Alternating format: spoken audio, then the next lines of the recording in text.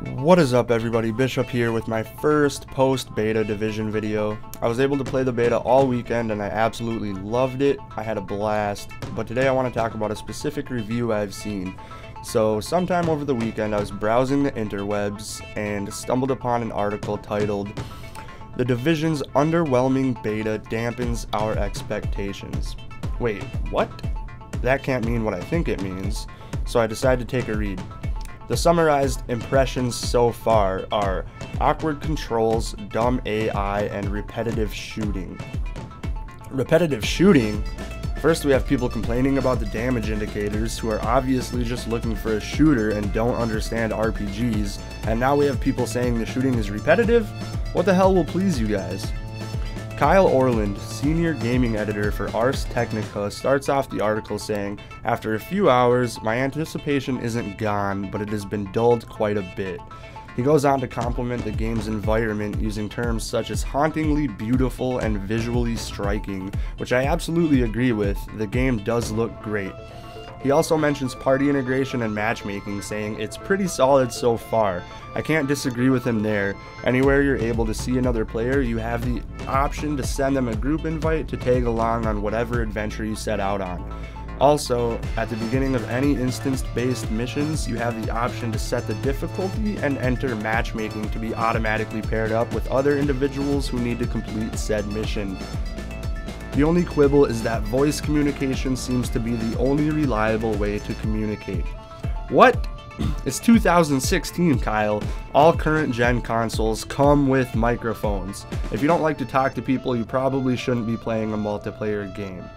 The Division beta is uninspiring to say the least. The shooting action seems to draw direct inspiration from the Gears of War series, particularly in the way you can snap behind cover and move between save points with the press of a button. Where the Gears of War games thrive on smooth animations and transitions that keep the action fluid and fast moving, in the Division beta I found the protagonist moved much more clunkily. Let me stop you right there.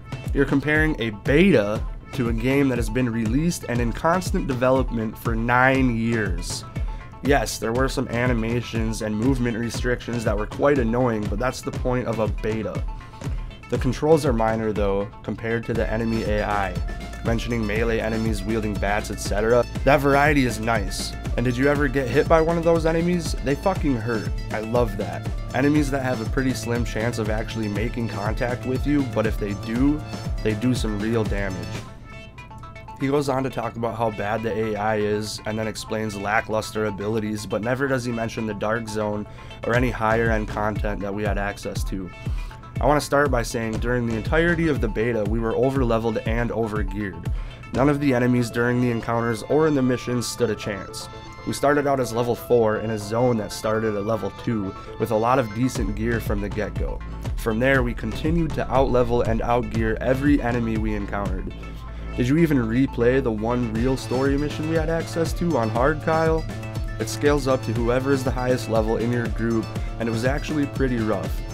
I knew from previously beating the mission where the enemies would come from, so I planted a sticky bomb as a trap, and the AI were smart enough to change their route to not be touched by the explosion. That certainly caught me off guard and left my bomb wasted. Did you go into the dark zone and try to clear any of the contaminated areas filled with enemy NPCs? They were difficult. The veterans and elites we found there absolutely melted us, literally and figuratively. Not only were they beefier because they were the same level as us, but the AI was definitely more intelligent. More than once, a golf club or bat wielding enemy snuck up on me and one shotted me. Never did I have any idea where he came from. Most of this review is based on content that is supposed to be easy for people to learn the game or for people who are new to the genre, and it was even easier for us during the beta because we started at a higher level than you will be in the actual release. That's all for this video. Hit that like button if you enjoyed, leave a comment if you have any questions or if you think I'm dead wrong, and hit that subscribe button to see all my future videos where I will be covering specific areas of the division and plenty of new gameplay.